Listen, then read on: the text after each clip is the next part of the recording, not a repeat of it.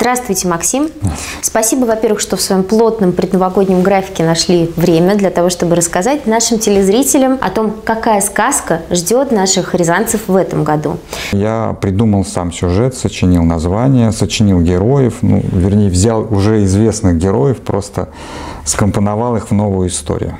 Ну и вы уже мне секретик приоткрыли, что это ваша первая, скажем так, сказка, которую полностью сюжет придумали вы. Сюжет, да, но у меня в этом отношении опыт есть, потому что чаще всего я беру сказку какую-то, если это известная сказка там Шарля Перо или Андерсона, даже если русская народная сказка, я ее беру просто как фабулу, как некую такую историю на две страницы. И потом из этого раскручиваем мы целый спектакль с текстом, который мы тут же придумываем с актерами, с какими-то новыми линиями сюжетными в этой истории. Поэтому в этом отношении уже опыт есть, что-то придумывать вот на ходу вместе с актерами, дополнять. Поэтому нельзя сказать, и я не говорю ни в коем случае, что я прям как драматург написал сказку. Нет, я придумал историю, придумал персонажей, придумал э, их конфликты, чего они хотят, что с ними происходит. А уже дальше с актерами мы сочинаем, как обычно, вот эту вот внутреннюю наполненность. То есть я соавтор можно сказать, не автор, а соавтор. С 18 декабря мы начинаем новогоднюю кампанию. Каждый день и в выходные, и в будни. До Нового года у нас две сказки, а после Нового года в праздничные дни у нас по три спектакля в день. Так что успевайте купить билеты. Будет интересно, я думаю. Я надеюсь на это. Обязательно мы тоже придем. Спасибо, Максим, что уделили нам время. До свидания. Спасибо. Подвиг рязанцев в 1237 году историки считают важнейшей вехой на пути духовного становления русского народа и формирования национальной идеи. История Великих Побед без этого подвига, возможно, не была бы столь полной. Трагическая история Старой Рязани благодаря ученым археологам, этнографам, историкам из полулегендарной становится реальной. А находки на городище позволяют утверждать, что Рязань была городом высокой культуры, была населена замечательными мастерами, здесь процветала торговля, была богатая духовная жизнь. Проект начнется масштабной научной конференцией. Уже второй год подряд конференция посвящается Старой Рязани, и это еще один шаг вперед, который откроет целый цикл мероприятий. Три выставочных проекта. Выставка, посвященная Российской империи, выставка, посвященная Старой Рязани, мирной, промысловой, быту и ремеслам горожан. Рядом будут показывать фильмы о Старой Рязани и снятые по повести о разорении Рязани Батыем. В самой Старой Рязани откроется выставка художника Вадима Овсянникова. Каждый жил как бы своей жизнью. Кремль своей жизнью, там академик Овсянников, который писал картины про Старую Рязань, жил своей жизнью. Вот. Археология жила своей жизнью. И вот как бы в один прекрасный момент мы поняли, что нужно объединить наши усилия. Возник проект Э, развития Старой Рязани. Да? Э, вот, мы подали значит, на грант президентский фонд культурных инициатив. Э, приезжал Роман Карманов, президент этого фонда на Старой Рязани. Значит, ну, скажем так, впечатлился нашими начинаниями, познакомился с командой. Рязань была столицей окраинного княжества, самая восточная из земель эпохи княжения. Но уровень культуры и клады свидетельствуют о том, что это был один из крупнейших центров формирования национальной культуры в последующее столетие. Мы хотим в первую очередь показать город не, не только э, как бы вот эту трагедию 1237 года, но и э, город в эпоху его расцвета.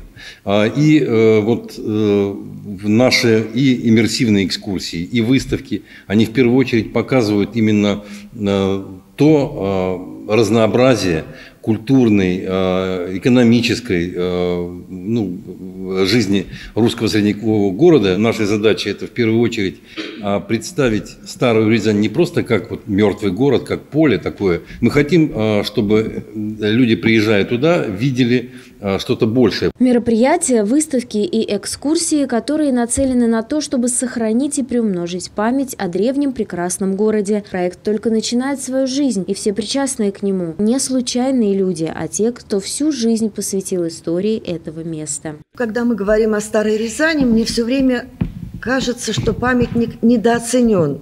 О нем знают историки, о нем знают археологи. И, наверное, вот это трагическое событие затмевает жизнь обыденную города, обыденную, но не менее интересную. И с этим, с обыденной жизнью связана будет и выставка. Можно ее и с трагическими событиями связать. Что защищали рязанцы? Свою жизнь, какой она была. Вот это, надеемся, и покажет выставка. Уже 6-7 декабря состоится научная конференция, которая даст старт всему проекту, призванному вернуть Рязани статус значимого в истории Отечества города.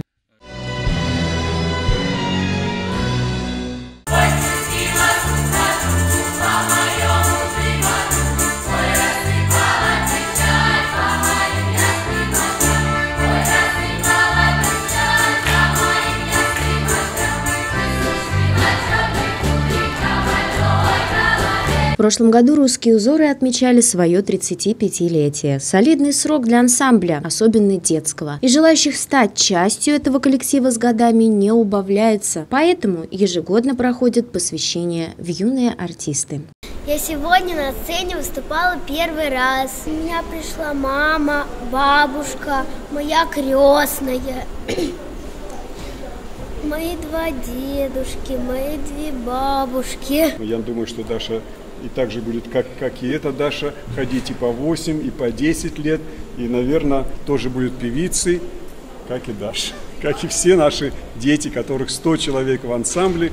Ансамбль становится для большинства поступивших в его ряды настоящей семьей, жизнью. Это те дети, в которых воспитывают особое чувство. Чувство любви к национальной, народной культуре. Ведь песня – это целый пласт той самой культуры. Язык, мелодика, душа народа. Мне очень понравилось. Я хочу сохранить историю и культуру нашего родного края. Мне очень нравятся наши поездки, когда мы ездим. Это новые эмоции, впечатления. Я люблю выступать со своими друзьями.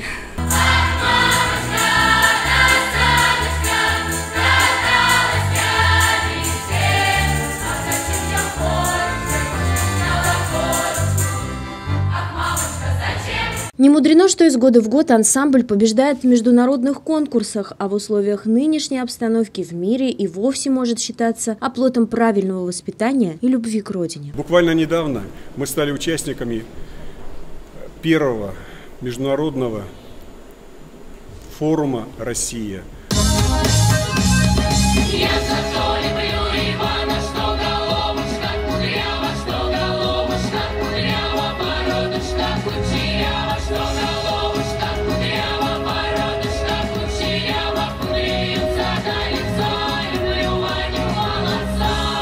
Нам было настолько приятно представлять нашу Рязанскую область.